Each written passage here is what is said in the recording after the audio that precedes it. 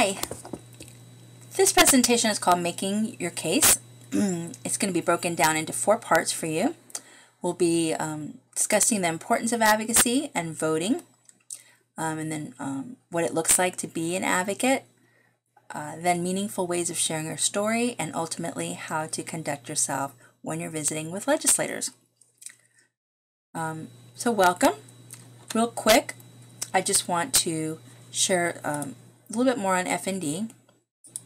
We are a 501c3 uh, nonprofit organization um, helping families across the state of Florida understand special education, um, providing resources and supports to individuals with uh, disabilities, um, their families, and professionals who serve them.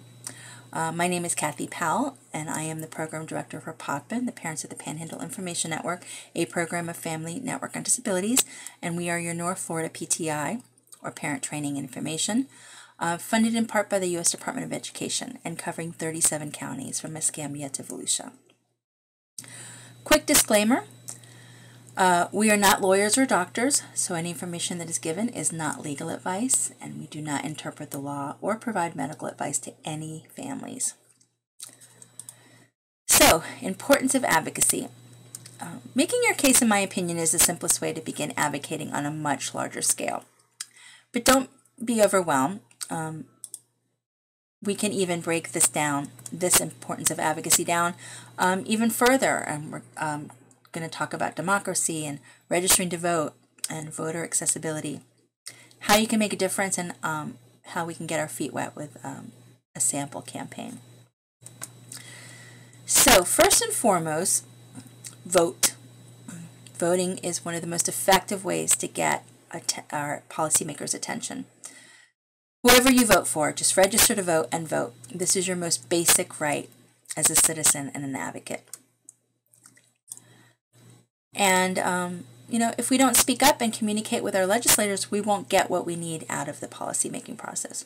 And if you aren't sure how to register, um, where to go, who can register, or different ways to vote, and what to bring, I'm going to be including some links in the in the chat section, in the comment section, um, so you can have that information.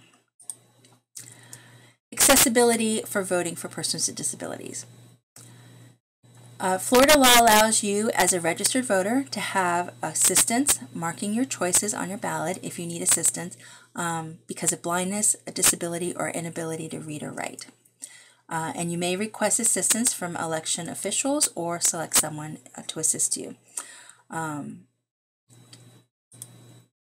little bit more on that. Um, so, your right to cast a vote, you can make your own choices and vote by yourself. Um, Florida law requires that voting systems, the actual voting machines, and polling places be accessible for persons with disabilities. Um, and that means you have a right to cast a secret ballot independently. And the state is um, required to provide those voting machines that permit this. Um, if you need assistance with voting, um, to get help from a person of, of your choice or an elected official, um, due, if you need the assistance due to a disability, um, you can receive personal help at the polls um, during early voting or on election day. Um, you do not have to reveal the nature or extent of your disability. Um, and then you can choose anyone you want. There are some um, stipulations. Uh, you can't have your employer or an agency of your employer or an officer or agency of your union helping you. But other than that, anyone you want. Um, and then it, uh, Florida law requires that uh, polling places be accessible to persons with disabilities. Um, and there are grants um, that uh, these polling areas can access from the U.S. Department of Health and Human Services uh, voting program to make polling places accessible to the disability community. Even if you have a guardian, unless you um, your right to vote has been specifically removed by a court, you are still eligible to vote. Uh, you can also vote by mail uh, from the comfort of your home. I know a lot of us are looking to do that this, uh, you know, for COVID. In addition, you can have um, anyone other than your employer agent or employer or an officer agent of your union mark that the choice is for you or have that person assist. Um, Early voting. This is uh, also an attractive option for many people, including persons with disabilities. It's often available for many days prior to the official election date. So check your county supervisor of elections to find out where and when it's available. Um, this provides more flexibility and less stress um, since the time required to vote is often greatly reduced. There's often little or no waiting. Elections and voting are often regarded as the heart of the political process. And as long as people are given the chance to vote and to choose their representatives and their stance on social uh, and political issues, then democracy is working. That is the power of decision. Um, remember, these folks we're talking about um, work, work for you. It's not enough that they were elected, it's what they promised happen would happen. Um, that having been said, you need to know the process and how it works so you can be heard. It's important whether you're um, advocating for yourself or someone else that you are not afraid to ask for exactly what you want. Advocacy is especially important now because of the many legislative changes made to social assist, uh, assistance programs and mental health services and other areas that impact the lives of people with disabilities. You don't need special training to be an advocate. Anyone can do it. Your voice makes a difference. Now, this presentation, Making Your Case, is based on a Making Your Case Partners of Partners in Policy Making. Um, it's based on a national model developed by the Minnesota Governor's Council on Developmental Disabilities more than 25 years ago, and it's offered in almost every state and in many foreign countries. If you're interested in learning more and really building your advocacy skills, you will enjoy this more intense course. Um, access it. You can access it on uh, FDDC's website. It stands for Florida Developmental Disability Council. Uh, it goes deeper into the legislative process and the whole essential elements of good advocacy and identifying and researching issues, and then advocating for system change. Your role in a democratic process of government does not end at the polls. By sharing your opinion and ideas um, with your representatives and senators in Tallahassee, you help them decide what to do about the issues before the legislature takes action on it. Think about it. The legislator wins an election, he or she leaves your home state and goes to Washington, D.C. And then suddenly they find themselves voting on a range of issues education, taxation, trade, defense, and housing.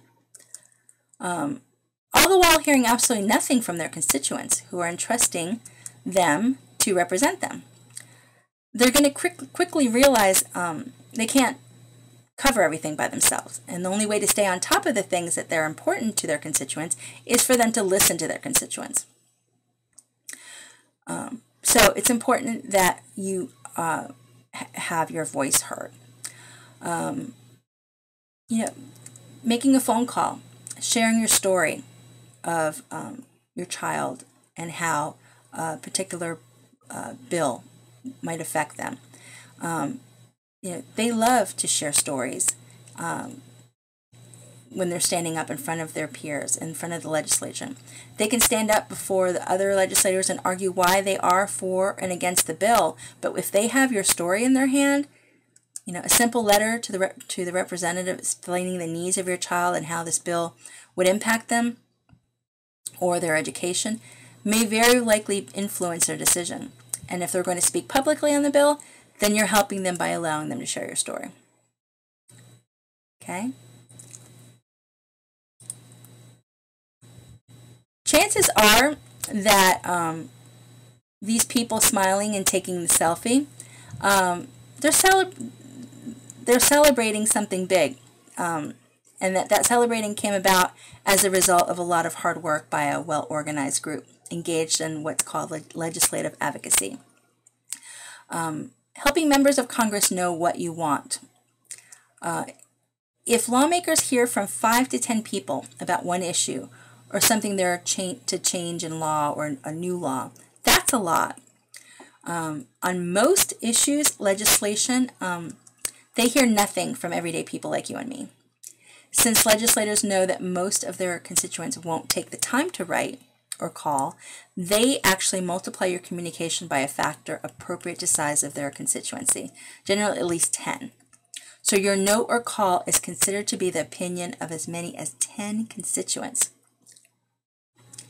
Um, And there are a lot of ways to increase your effectiveness by simply increasing the number of people you engage in your legislative advocacy efforts. So here are some things that you can do. You can attend, um, start attending candidate forums and legislative workshops in your community. You can hold or attend town meetings and rallies or marches, all effective ways to bring people together and get the word out about an issue. Ask your friends, ask 10 friends or family members or office staff to make a call or write a letter, um, and you can increase your impact tenfold. Um, you can mine your holiday card list for contacts for important issues. I mentioned the word um, legislative advocacy in the last slides, and in its simplest term, legislative advocacy is working with individual lawmakers and lawmaking bodies to gain support for your cause or um, initiative. For the needs of a specific population, uh, for an organization or a group of organizations, or for specific service. And it includes educating legislators, supporters, and the public about the issue. Now, I told you I was going to share a sample um, campaign. Um, the End to the R word in Florida. This was an advocacy campaign.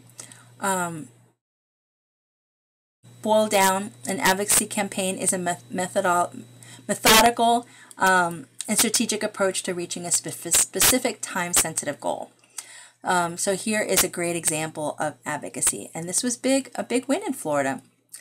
Um, it became when it became the 40th state to unanimously pass a law replacing the word um, retarded with intellectual disabilities in its state laws. People with disabilities just want to be treated as equals and given the same decisions um, choices, rights, and responsibilities, and a chance to speak up to empower themselves. Um, Self advocates had a goal and went about a strategic approach in raising awareness through a campaign, and that campaign was called the R Word Spread the Word to End the Word.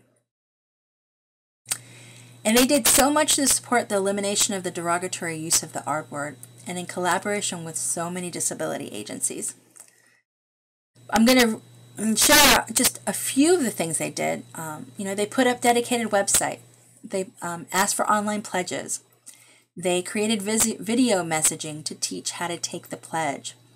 Um, they shared key messaging and talking points for stakeholders um, for them to use when making phone calls to legislators. Um, they asked for stories to take to the Capitol. Um, they created fact sheets or one pagers. They created a whole social media plan um, banners to use um, on social media uh, for plan. They had Plan R Word events and large banners for people to sign at events. They created toolkits, template letters. Not to mention the amount of work that went into creating graphics for like T-shirts and printable banners and buttons and business cards. Um, but there's so much people with disabilities are fighting for. Um, find your your your cause and and learn to advocate and find your voice.